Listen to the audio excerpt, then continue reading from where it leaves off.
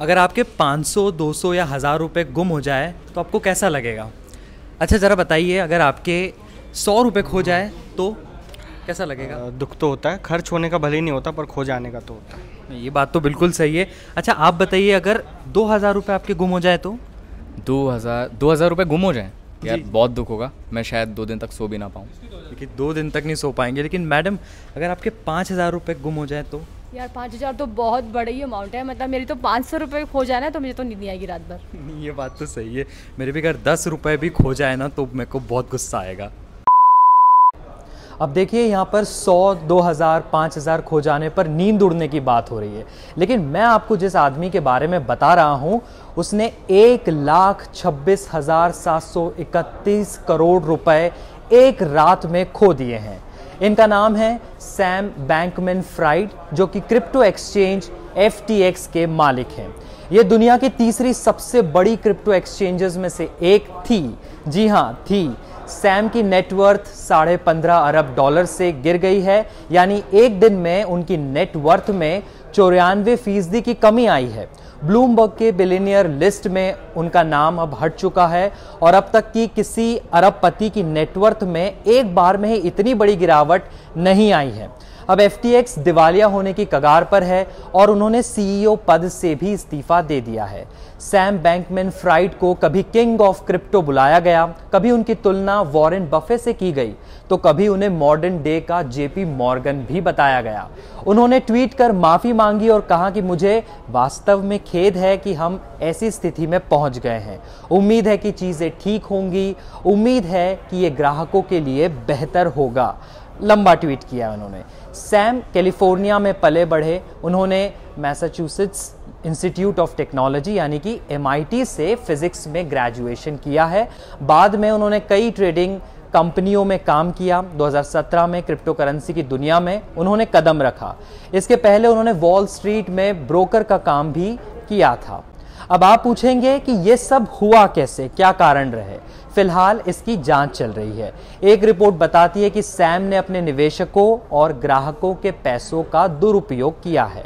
कुछ रिपोर्ट्स सीधे दावा करती है कि सैम ने एफटीएक्स की पेरेंट कंपनी अलामेडा रिसर्च को चालाकी से कुछ पैसा ट्रांसफ़र कर दिया है। एफटीएक्स ने कहा है कि उन्होंने कंपनी के अकाउंट तक अनऑथोराइज एक्सेस डिटेक्ट किया है। एग्जैक्टली exactly क्या मामला है? फ़िलहाल इसकी जाँच जारी है।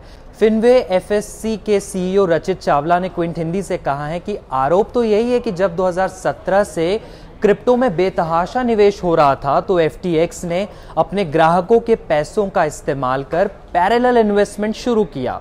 और क्योंकि क्रिप्टो को रेगुलेट करने वाला कोई नहीं है, इसलिए ये काम आसानी से होता रहा। एक समय FTX की वैल्यू 32 बिलियन डॉलर तक भी पहुँच गई थी। अब क्रिप्टो बाज़ार में गिरावट आ रही है। एफटीएक्स टोकन का हाल तो आप देख ही रहे हैं जो पिछले साल तक 50 डॉलर के आसपास था वो अब एक डॉलर के आसपास ट्रेड कर रहा है। ग्राफ बता रहा है। बिटकॉइन 16,000 डॉलर के आसपास है। एथेरियम 1800 डॉलर के आसपास बना हुआ है। ऐसे में कुछ एक्सपर्ट्स का मानना है कि फ़िलहाल गिरते हुए बाज़ार में ना कूदे। वेट एंड वॉच करें। फिनवे एफएससी के सीईओ रचित चावला ने कहा है कि ऐसे समय में मैक्रो क्रिप्टोज में निवेश कर सकते हैं। यानी कि ऐसे क्रिप्टो जो कि अपना नाम इस क्षेत्र में पहले ही बना चुके हैं, जैसे कि बिटकॉइन और डॉज कॉइन जैसे छोटे क्रिप्टो से दूर ही रहे। उन्होंने ये भी कहा कि एसआईपी की तरह आप यहाँ थोड़ा थोड़ा निवेश करने से भी कुछ खास हासिल नहीं कर पाएँगे। अब चूँकि इसे किसी सरकार की मान्यता नहीं है, इसलिए इसकी वैल्यू के ज़ीरो होने की संभावना भी हमेशा बनी रहती है। आमतौर पर एक्सपर्ट्स यही कहते हैं कि शॉर्ट टर्म के लिए निवेश से अच्छा लॉन्ग टर्म निवेशक बनिए। तो एक तरह से जिसे भविष्य की करेंसी माना जाता रहा है, आज उस पर बड़े सवाल खड़े हो रहे हैं। अब इस हफ़्ते बिज़नेस और कारोबार की दुनिया से आई आपके काम की कुछ खास बातें जान लेते हैं।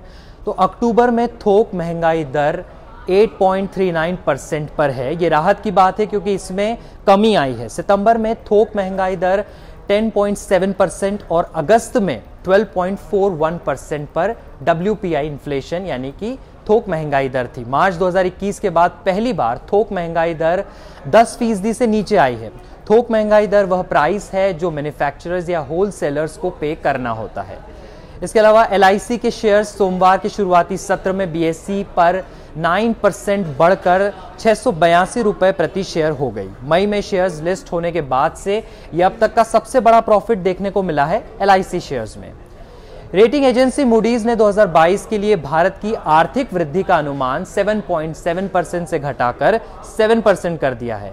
एजेंसी का कहना है कि घरेलू स्तर पर बढ़ती ब्याज दरें और धीमी वैश्विक वृद्धि भारत की आर्थिक गति को प्रभावित करेंगी। यानी आरबीआई ब्याज दरों में फिर बढ़ोतरी कर सकता है।